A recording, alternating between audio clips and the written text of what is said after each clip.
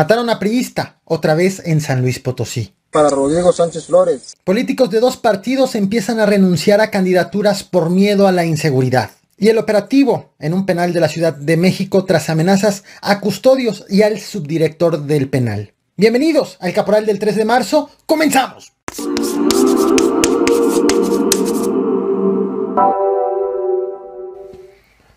Vaya susto el que vivieron los habitantes de Teoloyucan en el estado de México. Te comparto en pantalla lo, pues, un incendio producto de una toma clandestina de un ducto de Pemex. En el municipio de Teoloyucan, esto pasó la tarde de ayer, tuvieron que ser desalojadas las viviendas ubicadas a 500, 500 metros, 500 metros a la redonda.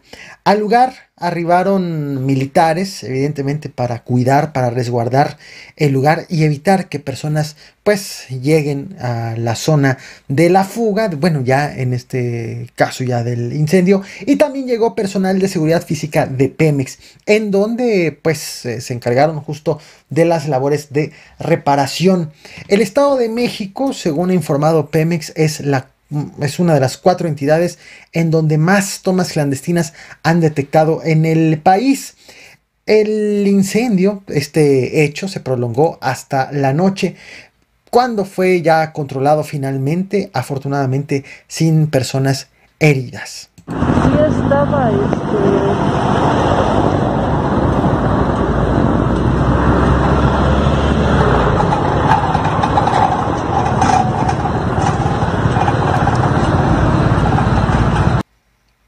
San Luis Potosí sigue dando de qué, hablar en materia de inseguridad.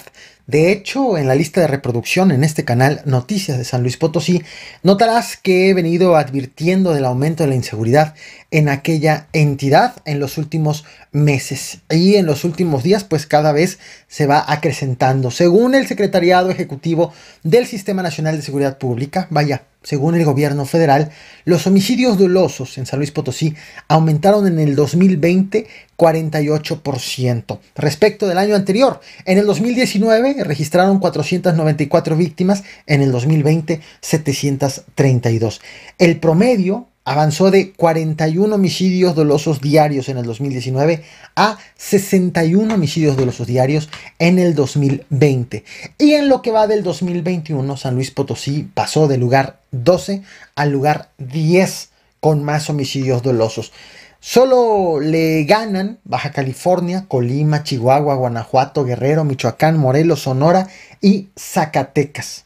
Las autoridades, tanto estatales como federales, han reportado la presencia de grupos delictivos como los Zetas, el cártel de Sinaloa, el cártel del Golfo, el cártel del Noreste, los talibanes y el cártel Jalisco Nueva Generación. Es más, ayer hubo una marcha del silencio por parte de, habitantes de San Luis Potosí para exigir justicia por el asesinato de Julio César Galindo Pérez, quien era el líder estatal de la Coparmex. De hecho, hoy la Fiscalía del Estado ha informado de la detención de cuatro personas eh, presuntamente ligadas a este homicidio. Pero resulta que hoy ha sido asesinado Rodrigo Flores, Rodrigo Sánchez Flores, quien fue un líder juvenil del PRI. Fue asesinado eh, cuando iba a bordo de su camioneta alrededor de la una de la tarde de este 3 de marzo en la capital de San Luis Potosí. Rodrigo Sánchez también fue precandidato a la alcaldía de, de Tamazuchale y pues en el momento de la agresión resultó herida la mujer que lo acompañaba, quien por cierto fue hospitalizada. Hay reporte de tres personas detenidas tras un operativo que hicieron las autoridades luego de haber sido registrada esta agresión. En marzo del año pasado, hace casi exactamente un año, hubo un video eh, donde un grupo armado ya advertía que iba, que estaba actuando en contra de Rodrigo Sánchez. La gente bien no se preocupen, contra el pueblo no tenemos nada. Este operativo es especialmente para Rodrigo Sánchez Flores y a toda su puta gente que sigue haciéndole caso y apoyándolo, ya se la saben. Otro hecho inédito que se conjunta el tema electoral con el tema de inseguridad se ha registrado justo en el estado de Michoacán. Atención, porque esto en verdad es preocupante, ya no es el hecho de que la inseguridad afecte eh, em, como lo hemos venido conociendo, sino también atenta directamente en contra de la democracia. El Partido Verde Ecologista de México ha informado que se bajó de la contienda electoral en al menos cinco municipios de Michoacán por la violencia generada por el crimen organizado.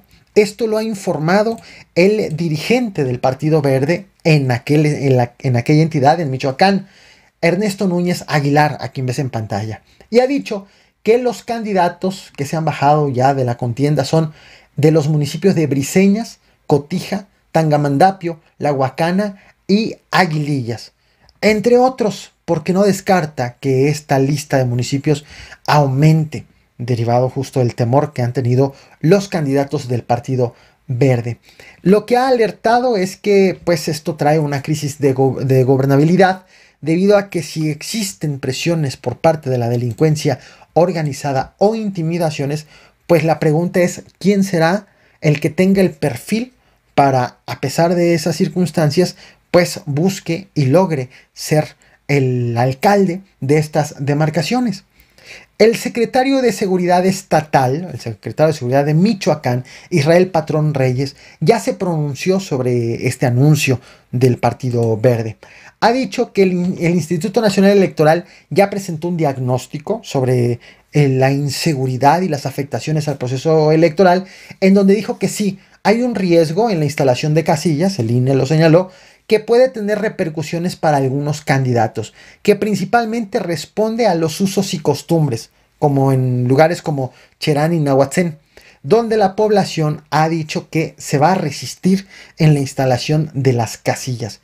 Pero el secretario de Seguridad Estatal ha dicho, ningún partido se ha quejado oficialmente, formalmente, ante las autoridades. Así que pues no tienen esa información de eh, intimidaciones o pues temores por parte de los candidatos.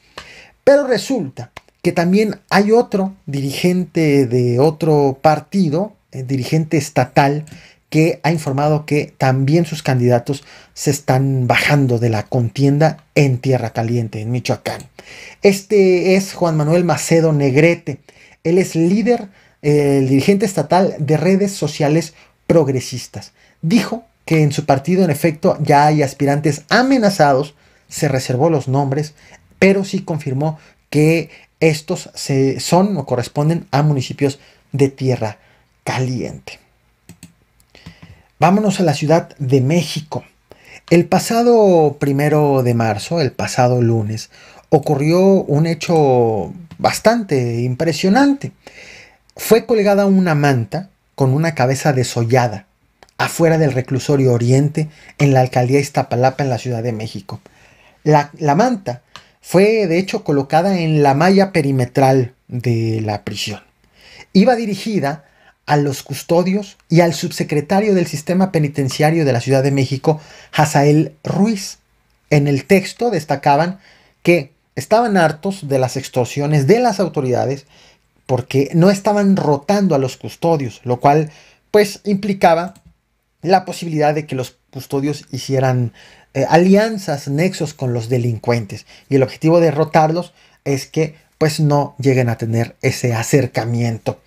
Y advertían en la manta que si no actuaban en contra de esta práctica o de esta inacción, pues iban a empezar a morir, y menciono la palabra tal cual, a morir custodios. Las cámaras del C2 Oriente detectaron precisamente la colocación de la manta y de los restos humanos. Fueron abandonados el lunes alrededor de las seis y media de la madrugada. Para cuando llegaron al lugar los elementos del sector Tezonco, ya, ya no había nadie de los que había dejado este mensaje.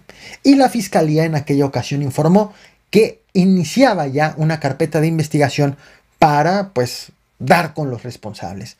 La jefa de gobierno de la Ciudad de México, Claudia Sheinbaum, dijo ayer martes 2 de marzo que no es la primera vez que aparecen este tipo de mensajes en contra de este servidor público.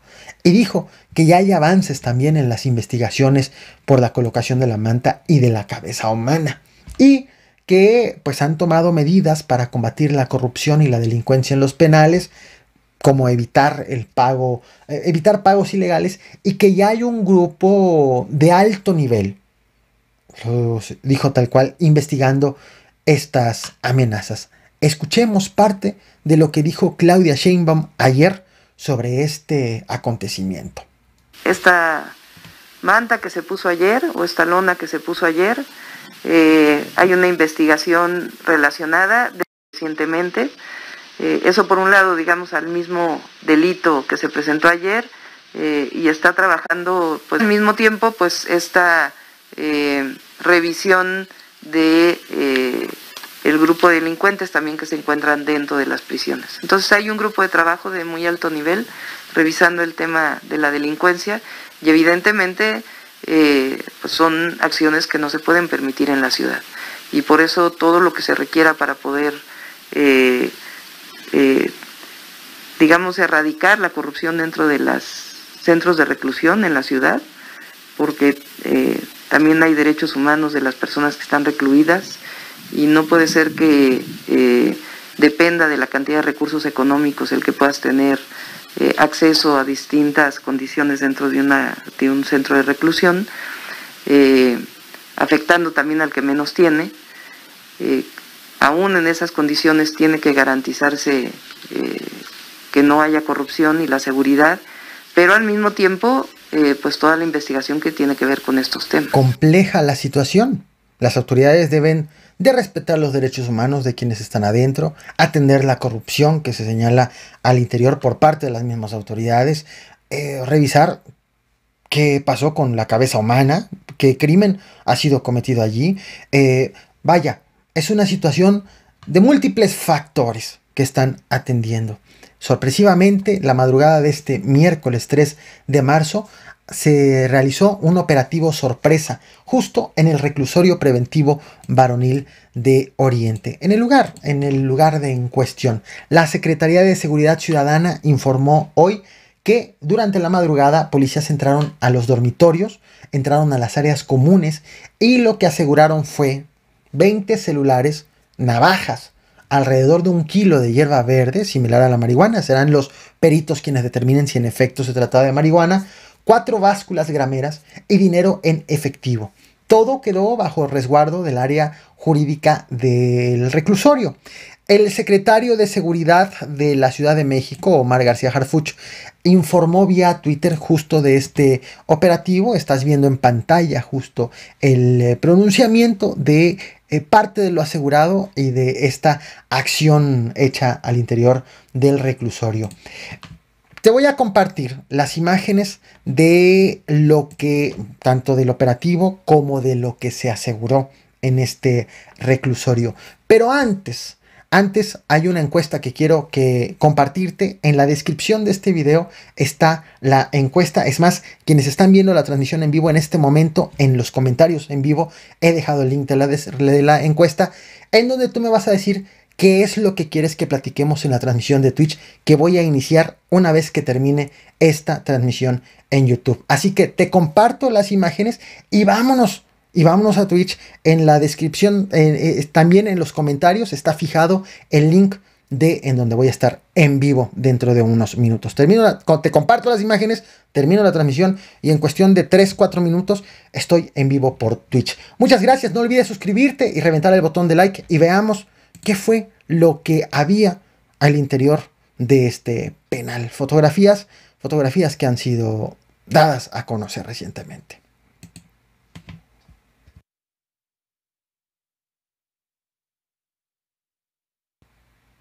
Estas imágenes, estas imágenes son del exterior del penal durante la madrugada. La cantidad de elementos de la Secretaría de Seguridad Ciudadana, que ingresaron a las instalaciones. Ahora estás viendo en pantalla la hierba asegurada. Los celulares asegurados. Agradecemos a C4 Jiménez que ha compartido estas imágenes vía Twitter. Y más cosas, las navajas. Gracias.